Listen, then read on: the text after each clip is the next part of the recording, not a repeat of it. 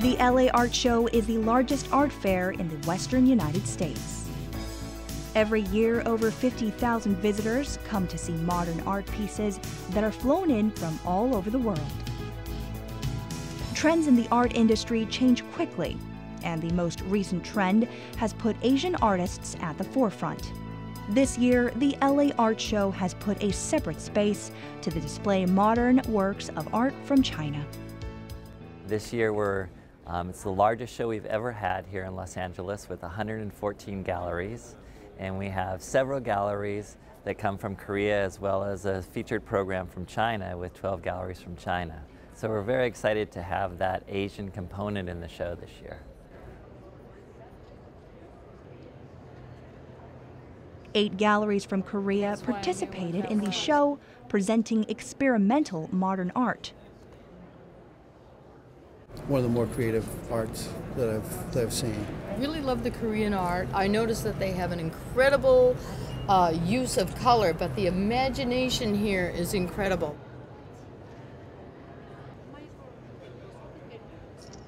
The PYO Gallery was specially invited by the LA Art Show itself. You walk towards it, That's then only you get right. it's- And as you move around, you'll be able to see that the whole piece moves, moves. with you. Yes, Right, I love right. that. Heidi Jung continues to receive accolades for her creative and original work. People actually have to look at Korean art in a more of um, separate eyes. So they don't really try to compare to what they already know, but have to see it as more of something very different and fresh and something they love. Six years ago, Korean galleries began to appear internationally for the first time. However, most Korean galleries were unable to keep their place and retreated from the scene soon after entering it. What was the problem?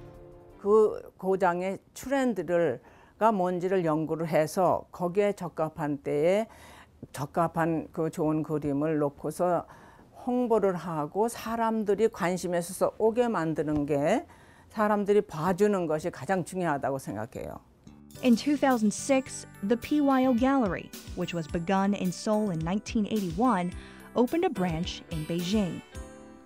In 2008, it became the first Korean gallery to have a branch in Los Angeles.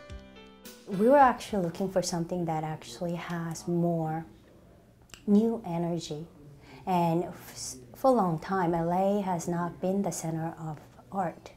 There are a lot of artists living in this area. However, gallery scene has been not as exciting. Korean galleries had not seen the potential of exhibiting in Los Angeles. Heidi Jung's decision to branch out PYO Gallery here proved right on target. Artists in Los Angeles hoping to break into the Asian market flocked to the gallery. PYO is for me is from now on very important galleries because the uh, they have uh, galleries in, in, in, Seoul, in Beijing, and so you know it's a possibility that I'll be able to have a show there as well as here.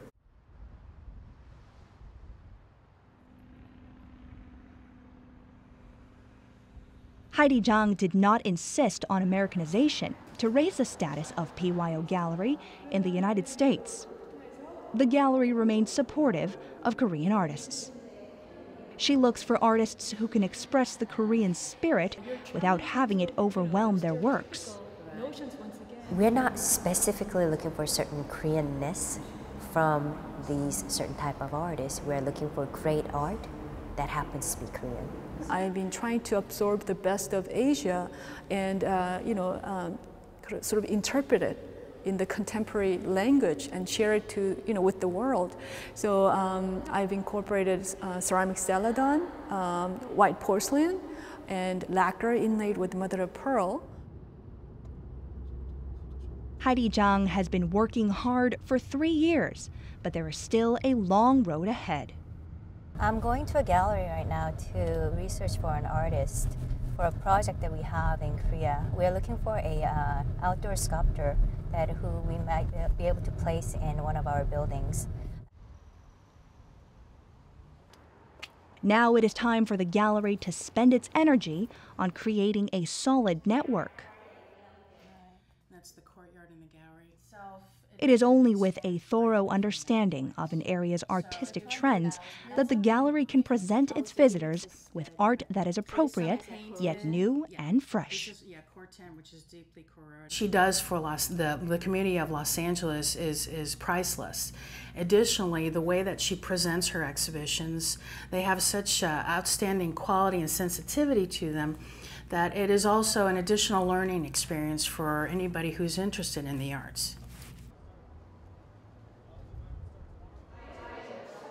PYO Gallery has matured in such a way that it is not known to Los Angeles as a Korean gallery, but rather as a gallery with good art. I like Asian art, and so I've read about some new galleries opening in town. And this is one of the ones that I thought was unusual because it's Korean owned. I know that in Los Angeles, um, that from all the galleries that I know, from um, people that I talk to in the art world, that they um, they talk about this gallery being uh, at a whole different level. I would like PYO Gallery not to be just known as a you know successful going gallery in Los Angeles or not even USA.